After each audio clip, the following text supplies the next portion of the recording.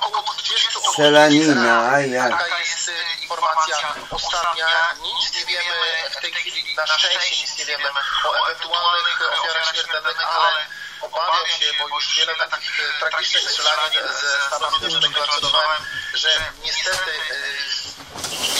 że tak nie będzie, ale przypominam sobie y, po- poprzednie właśnie y, tego typu wydarzenia. Niestety w miarę upływu czasu władze informowały o tych ofiarach śmiertelnych. Tak więc w tej chwili nie mamy na tą chwilę informacji, że ktokolwiek zginął, ale ta sytuacja niestety może się zmienić w najbliższych kilku, e, kilkunastu e, minutach. Mieszkańcy całej okolicy otrzymują właśnie SMS-y, w których władze ostrzegają przed e, zagrożeniem. E, Przypominamy, że w szkole znajdowało się e, około e, 200 e, uczniów i wszyscy są w tej chwili ewakuowani i e, również spodziewane jest wystąpienie gubernatora e, stanu Floryda, Erika Skata, który ma e, poinformować właśnie e, i podać więcej szczegółów dotyczących właśnie tych tragicznych wydarzeń, które w tej chwili rozgrywają się na przedmieściach Kanady. My z pewnością do tej sprawy jeszcze w kolejnych serwisach informacyjnych będziemy wracali z USA. Jan Pawłowski, bardzo dziękuję.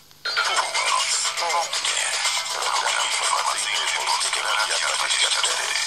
Na zakończenie wracamy jeszcze do sprawy, która dziś wywołała bardzo dużo komentarzy politycznych, nie tylko. Władysław Frasyniuk usłyszał zarzuty naruszenia niepodległości osobistej dwóch policjantów na służbie. Rano były opozycjonista został zatrzymany przez policję we Wrocławiu i dowieziony do prokuratury w Czeczeni. 12 stycznia 1 lutego mimo zezwania nie stawił się na przesłuchanie. Po tym, jak został doprowadzony i przesłuchany w prokuraturze Boleścicy dzwoniono go do domu. O sprawie mówił na naszej antenie Ryszard Majdzik, opozycjonista z czasów PRL-u. Rozmawiał z nim Wojciech Kościak. Pan e, w latach 80. był internowany, organizował pan e, szereg protestów i głodówek oczywiście, e, także był pan więziony w czasie e, stanu wojennego. W tychże latach 80. dziś politycy totalnej opozycji e, komentując zatrzymanie Władysława Frasyniuka wspominają właśnie lata 80. mówią, że to jest e, w zasadzie praktycznie to samo. Tak, coś w tym władzy coś śledzi, po prostu nie wiem, że zapomniało, jak dla nas służba bezpieczeństwa,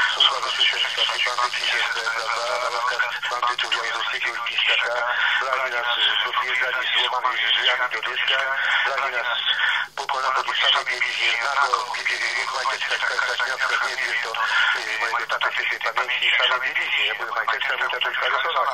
Dzieci zaczynać nie opowiada głupot, ponieważ musi respektować prawo i powinien respektować prawo. Wtedy oczywiście prawo było nie naruszone siłą całego przez, przez y, komunistów, która władza ta długo służyła i była wasalem władzy komunistycznej Związku Radzieckiego. Teraz nie opowiada, że władza ta została w sposób demokratyczny wybrana, prawda? Tym bardziej, że jeżeli ktoś zgłasza manifestację, tak jak wyszło na manifestację dziesięćnicze, co miesiąc w spokoju, po mszy świętej przechodzi się pod plac prezydencki, upamiętniając naszego prezydenta, naszego, prawda?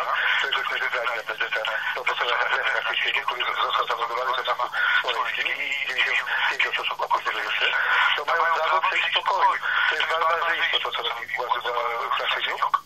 Oprócz tego nie przedstawiając rozwór, mój kolega y, 15 lat temu się jako Unia Wolności u Władzy, był w Lidze Republikańskiej i dostał za uderzenie policjanta, dostał dwa lata i wtedy rano nie było. Nie było to samo jedne.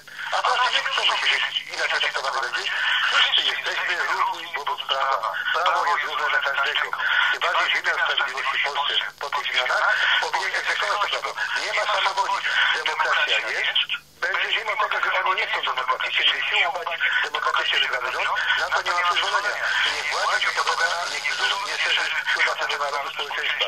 Naród jest teraz wolny, czuje wreszcie ten oddech wolności, przywraca mu się swoją tożsamość narodową i tego będziemy pilnować. A Polacy, który nie respektuje prawa, jak najbardziej nie o 12 nocy był brany, czy o pierwszej nocy, jak powiedziałem wcześniej, że wychodzono nam z drzwiami, łomami i zabrano na siebie więzienie, że to nie chcą, tylko zostaje normalny sposób, jeżeli się nie zgłaszał, nie przychodził do prokuratury, prawda, na wyznania, na przesłuchanie, to przepraszam bardzo. No to jest, jest ustawa właściwie, nie tylko teraz, tylko dawno już jest zapisane, prawda, że jeżeli ktoś nie zna rozwiązanie, policja na wniosek prokuratury takiego delikenta, czy władza czasownika ma prawo wyprowadziła przez prokuratora. Wcale nie wiem strasznego, ogólnie, że ten po 10 minutach myśleć, co mówi, jakie jest nieprawdzie, jaki stan jaka komuna.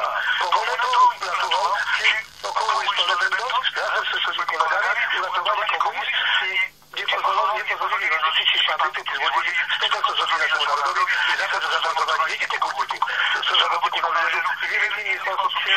do tego nie doszło.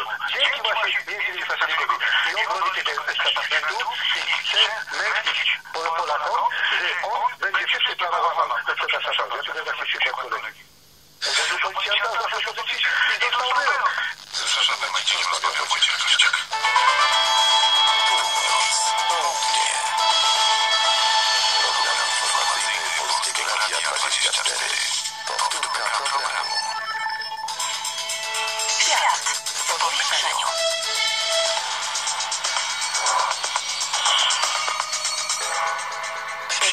Magdalena Skajewska, witam Państwa bardzo serdecznie i zapraszam na Świat w powiększeniu w Polskim Radiu 24, w którym dziś porozmawiamy o ostatnich napięciach grecko-tureckich. Chodzi o ponowny kryzys wokół wyspy Inia, tudzież po turecku Kardak w południowo-wschodniej części Morza Egejskiego oraz kontrowersje wokół poszukiwań podmorskich wzdłuż gazu ziemnego w wodach cypryjskich. Premier Turcji oświadczył dziś, że zwrócił się do szefa greckiego rządu, by nawiązać dialog, który miałby zredukować napięcia między krajami. O co dokładnie chodzi? O tym porozmawiam z moim gościem w studiu Karol Wasilewski, ekspert Polskiego Instytutu Spraw Międzynarodowych. Dobry wieczór. To zacznijmy może od tej wyspy. Tak jak powiedziałam, Inia po turecku Kardak. Na początku tego tygodnia okręt patrolowy tureckiej Straży Przybrzeżnej staranował tam łódź greckiej Straży Przybrzeżnej, uszkadzając rufę jednostki. Później Grecja wysłała w okolice Inii cztery okręty wojenne, Turcja siedem. No właśnie, o co chodzi? W zasadzie ciągle chodzi o to samo, a mianowicie, że Turcja i Grecja ciągle nie mają rozstrzygniętej tej granicy między sobą.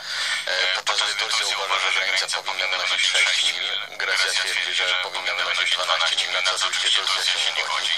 E, tak naprawdę od lat trwa ten sam spór. Wyspa zresztą e, Inia, tak, skoro od Inii zaczęliśmy, to zostawił może imię, chociaż Turcy się na nas obrazili.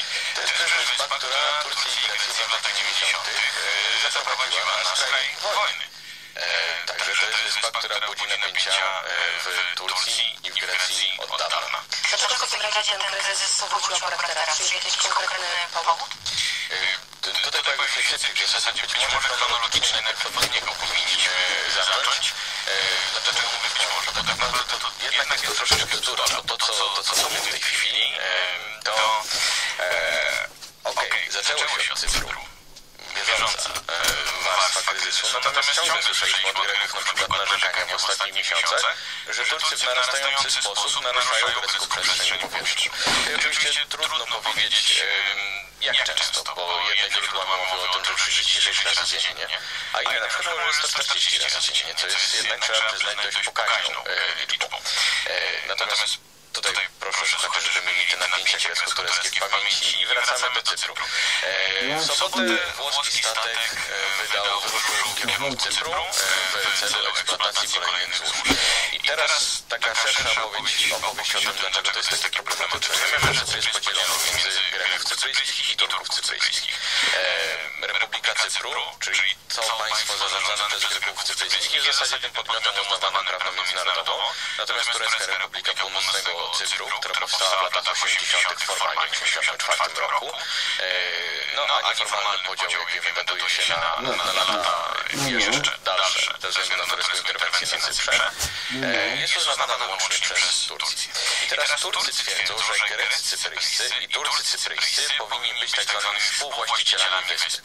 W związku z tym złoża prawa do eksploatacji e, i to o co chodzi, korzyści z eksploatacji złóż powinny mieć i grecka społeczność i turecka społeczność na wyspie. No oczywiście na tym etapie jest to utrudnione ze względu na to, że wyspa, tak jak powiedziałem, jest w dalszym ciągu podzielona. Najnowsze starania, które rozmowy między prezydentem e, Akıncım a Anastazjadisem nie doprowadziły do żadnego rezultatu. E, I Turcja zwracała uwagę na to już od dawna, że jeśli nie dojdzie do porozumienia między Grekami cypryjskimi a Turkami cypryjskimi, no to będzie utrudniała wydobycie na tym obszarze. Jest jeszcze jeden wątek, o którym w zasadzie chyba moglibyśmy powiedzieć poza tymi sporami cypryjskimi, bo to, to jest też pytanie w kontekście tureckiej polityki wewnętrznej. Dlaczego? A no właśnie dlatego, że Grecja jest jednym z tych partnerów, em, czy w zasadzie takich rywali, tutaj powinniśmy powiedzieć. I Cypr jest jedną z tych spraw, które wzbudzają wśród tureckich e, wyborców całkiem spore emocje, a właśnie o to Tajibowi Erdoganowi w obecnej sytuacji chodzi. Czyli o politykę wewnętrzną turecką? Również o politykę wewnętrzną. Znaczy Cypr jest, bo nie chciałbym też, żeby to tak wybrzmiało, że to jest wyłącznie kwestia polityki wewnętrznej, tak? Cypr jest również naprawdę ważny dla, dla Turcji. Musimy pamiętać, że to jest, to jest więź, mm, lepiej chyba wyraża się w tym określeniu takim, Turcy nazywają Cypr Jabrowatan, tak? Czyli małą ojczyzną. Em, No jest to dość mocna taka więź emocjonalna z Cyprem, więc Cypr stanowi taki dość istotny element tureckiej polityki e, i zagranicznej, i polityki bezpieczeństwa. Natomiast wracając do tego czynnika wewnętrznego, e, jeśli spojrzymy na to, co Erdogan robi od dłuższego czasu, no zwłaszcza w tych ostatnich miesiącach, E, jeśli spojrzymy też na sondaże, i tutaj znowu muszę powiedzieć niestety, jeśli będziemy ufać tym sondażom, e, bo oczywiście do tureckich sondaży trzeba mieć spory dystans, no to zwróćmy uwagę na taki trend. e, od dłuższego czasu występujący w polityce Tayyip Erdogana. On stara się, naprawdę bardzo się stara, trzymać permanentnej mobilizacji elektorat nacjonalistyczny. E, Elektorat, który no, dotychczas głosował innymi na taką partię, partię Ruchu Narodowego MHP. E, Coś się zarysowuje, jeśli spojrzymy na te sondaże i ponownie, jeśli tym sondażom będziemy ufać. No, że właśnie część wyborców MHP, e, MHP, która obecnie znajduje się w takim nieformalnym jeszcze sojuszu politycznym z AKP, czyli z partią rządzącą, partią Tayyipa Erdogana, no niezbyt dobrze się na ten sojusz zapatruje. Niezbyt dobrze zapatruje się na samego Tayyipa Erdogana, E, Ale z kolei, gdy spojrzymy na poparcie dla inicjatyw typu Operacja Gałązka Olina w Syrii, e, typu Tarcza Eufratu, no to jest coś, co nacjonalistyczny elektorat bardzo lubi. I takie napięcia z Grecją to jest również kolejny element, który, który turecki, turecki elektorat nacjonalistyczny bardzo lubi. Czy w takim razie wierzy Pan w tę wolę dialogu, o której mówi turecki premier? Bo też ze strony Turcji pojawiły się dość mocne słowa, bodajże sam y, Recep Tayyip Erdogan mówił o y, inwazji, jeżeli Cypr by kontynuował, jak on mówi Ankara, jednostronne. Niektórzy to tak rzeczywiście zinterpretowali, że, że groził podobnymi działaniami, e, jak właśnie w syryjskim Afryki. E, natomiast to się wpisuje tak naprawdę w to, o czym powiedzieliśmy. Ten ciąg takich nacjonalistycznych wypowiedzi Tayyipa Erdogana, które zmierzają do mobilizacji elektoratu. Zwróćmy uwagę, że w ostatnim tylko tygodniu, e, tutaj pojawiła się sprawa Grecji i tego typu no, oskarżeń chciałem powiedzieć, ale w zasadzie wskazywać, co Turcja zrobi. Ale ciągle pojawiają się dość agresywne w takim wymiarze, w takim wymiarze retorycznym komentarze w odniesieniu do Afryki. E, No, pojawiają się też komentarze dość agresywne w stosunku do Stanów Zjednoczonych. No, przecież Tayyip Erdogan groził, że wymierzy Stanów Zjednoczonych osmański policzek. E, Co jakkolwiek brzmi być może zabawnie jest też elementem, który pojawia się u Tayyip Erdogana w tej retoryce od dłuższego czasu. Natomiast czy wierzę w formę czy wolę dialogu? Myślę, że mimo wszystko i Grecja, i Turcja doskonale zdają sobie sprawę z tego, że to jest pewna gra. Ta gra powtarza się od dłuższego czasu. Zarówno ze strony Turków, jak i ze strony Greków, ponieważ Grecy też nieraz podnosili Turkom ciśnienie w obszarze Morza Egejskiego. E, Zdają też sobie sprawę z tego, że na konfrontacji tak naprawdę nie zyskają. Z drugiej strony nie mogą odpuścić, e, no bo przecież ciągle pamiętajmy o tym, że elektorat, elektorat jest przecież ważny e, w polityce, że się takim bananem tutaj posłużę. No i stąd mamy tego typu takie ciągle to napięcia, to dialogi, to napięcia, to dialogi. I spodziewałbym się, że to będzie jeszcze trochę trwało, bo e, no cóż, nie ziściły się. tak naprawdę te e, w cudzysłowie może to powiem marzenia, które od dłuższego czasu były zgłaszane w odniesieniu do właśnie sytuacji wokół Grecji, Turcji i Cypru. Bo od dłuższego czasu mówiono, że e, no okej, na przykład członkostwo Turcji w Unii Europejskiej. To może być coś, co wreszcie doprowadzi do tego. Dokładnie tak, że, coś, że, że to wreszcie doprowadzi do wyciszenia napięć między Grecją i Turcją. Inni mówili, że no właśnie rozwiązanie kwestii cypryjskiej będzie taką, taką kolejną cegiełką. Zresztą, że są sobą powiązane, bo rozwiązanie kwestii cypryjskiej, no gdyby nie oczywiście nie sytuacja w zakresie y, praw człowieka i demokracji w Turcji obecna, tak więc to na razie wyrzucamy poza, poza nawias. Ale gdyby udało się zjednoczyć Cypr, to rzeczywiście istniałaby bardzo pokaźna przeszkoda do kontynuowania negocjacji akcesyjnych. Dziękuję bardzo serdecznie. Karol Wasilewski, Polski Instytut, Instytut Spraw Międzynarodowych był Państwa i moim gościem. I to już wszystko w świecie powiększeniu Magdalena Skajewska. Dziękuję i do usłyszenia. Powtórka programu. Autopromocja. Dołącz do nas. Facebook.com 24. Napisz Radio 24.pl Odwiedź Polskie Radio 24.pl Obserwuj twitter.com ukośnik Polskie Radio 24 Autopromocja. Polskie Radio 24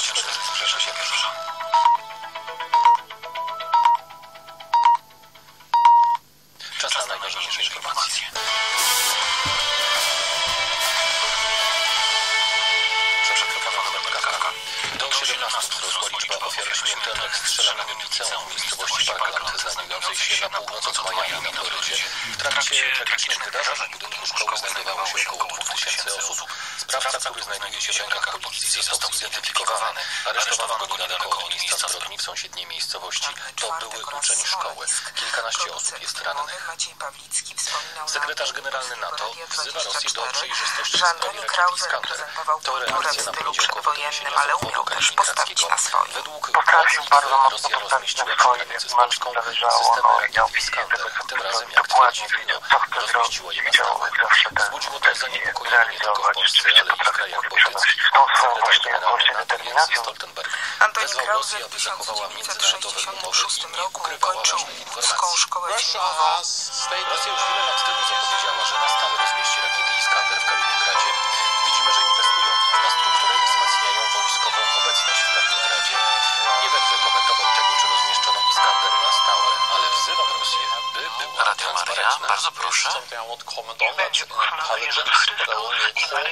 be transparent. Teraz i zawsze. Rakiety Iskander mają zasięg około 500 km.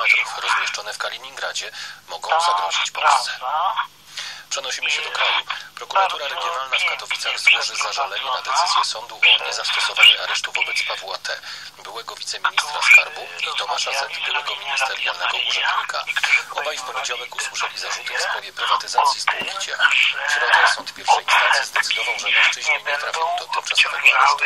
Prokurator prowadzący sprawę nie zgadza się z tą decyzją dlatego sprawą tymczasowego aresztu zajmie się teraz sąd okręgowy, powiedział rzecznik prokuratury regionalnej w Katowicach Waldemar odsetek Prokurator dodał, że sprawa należy do państwo, To jest bardzo obszerna sprawa, skomplikowana. o charakterze gospodarczym. Prokurator będzie wzbogacał na pewno materiał dowodowy zawarty w aktach sprawy. Na pewno będzie przesłuchiwał świadków, to znaczy wykonywał czynności dowodowe z prawem źródłami dowodowymi, jak i pozostałe takie gromadzenie dokumentów i ich o W poniedziałek sześć osób usłyszało zarzuty przekroczenia uprawnień, niedopełnienia obowiązków i poświadczenia nieprawnej dokumentacji, która została przedłożona ministrowi Skarbu Państwa i była podstawą do podjęcia przez niego decyzji No o prywatyzacji spółki Prokuratura nie chce na razie informować o tym, czy któryś z podejrzanych przyznał się do zarzucanych mu czynów. No dziś ewentualnie e, pada się Marszałek do dymisji. Stefan Karczewski powiedział w sygnałach dnia na antenie jedynki, że Prawo i jakiś Sprawiedliwość minister, dyrektor, bierze czy pod uwagę rozwiązanie, w którym on byłby no kandydatem to- na prezydenta stolicy, a wiceminister sprawiedliwości Patryk Jaki jego oni Na podobne nie rozwiązanie zdecydowały się Platforma Obywatelska i E, Nowoczesna. Rafał tak chyba prawo kandydatem na nie- prezydenta no, Warszawy, może a można by zastępca. tak spróbować wyklucza, odpowiedzialność że tak będzie również w i przypadku świadomość kandydata tego, Giego i Patryka Jakiego. No, taka opcja też jakie była brana i mogą być za takie czy Stanisław Kaczewski dodał, że działania, wyboru kandydata na fotel prezydenta stolicy władze żeby Prawa i Sprawiedliwości powinny dokonać tak- w ciągu tak najbliższych kilku tygodni.